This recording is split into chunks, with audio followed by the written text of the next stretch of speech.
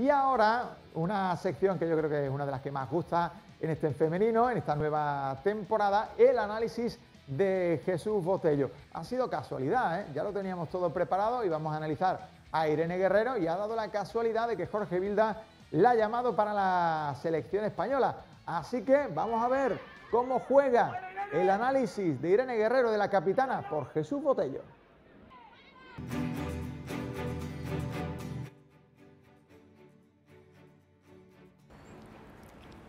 Pues muy bien, estamos en otra edición del Informe Botello.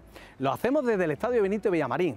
En este lugar se dio a conocer al jugador número 12, la afición, con la selección española.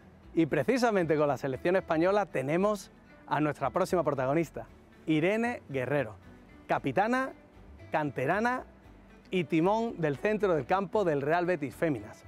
Irene es, desde esa posición tan importante para cualquier equipo, la jugadora diferencial, es box to box, de ida y vuelta, jugadora que con su jerarquía táctica permite que las compañeras disfruten de sus pases entre líneas.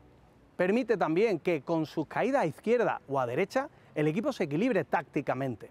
Es un espectáculo ver el despliegue físico y el despliegue táctico para acoplar esa inteligencia colectiva al juego del Real Betis Fémina. Jugadora muy poderosa en el juego aéreo, jugadora muy fuerte en los duelos y sobre todo una futbolista que a la hora de ponerse el mono de trabajo es la primera.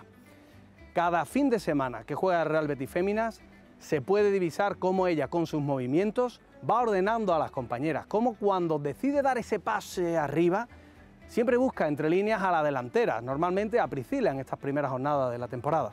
Y luego es una jugadora que a la hora de ir a presionar, siempre va con esa inteligencia de saber el cuándo y el cómo generar esa duda en la defensa rival.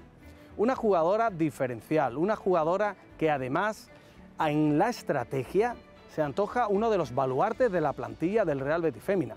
En este entramado táctico de Antonio Contreras, contar con una futbolista como Irene Guerrero permite al resto de las compañeras poder desplegar el juego ofensivo. Normalmente las laterales, ya sea eh, Paula, Nana o Termín, saben que cuando está Irene en el centro del campo, con esa basculación que realiza a, banda, pueden incorporarse al ataque.